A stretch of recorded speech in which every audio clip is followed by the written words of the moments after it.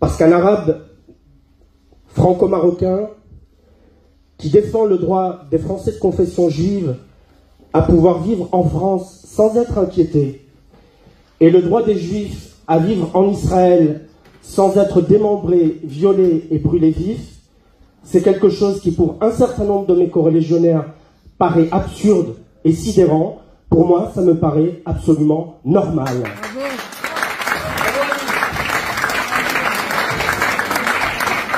Et je dis Je suis, euh, Les actes antisémites. Monsieur Mamoun, je suis ravi de, ce- vous, de vous voir euh, ce mardi.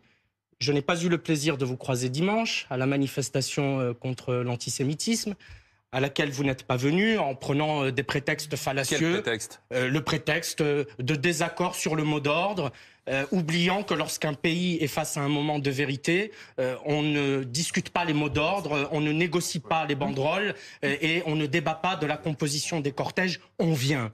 Et quand des obéit. Français, On on, obéit. vient, On obéit à Monsieur quoi On obéit, Mamoun, on obéit à, qui? à- à- au Monsieur président Mamoun, de l'Assemblée on nationale on vient, et à la présidente de l'Assemblée et Monsieur Mamoun, président- je ne vous ai pas interrompu et je Oui, vous regarde vous- quand je vous de dire parle. qu'il faut qu'on obéisse. Euh, oui, lorsque des Français de confession juive se sentent menacés, on n'obéit pas, on soutient.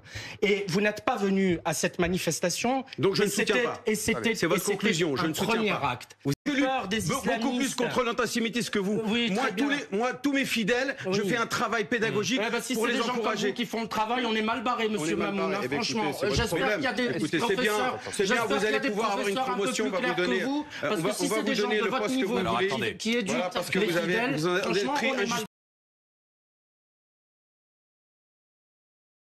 C'est pour ça que lorsqu'on nous a dit il faut demander le cessez-le-feu, on ne demande pas le cessez-le-feu avec une organisation terroriste. Évidemment qu'il faut protéger des civils, mais on ne négocie pas la paix avec une organisation terroriste.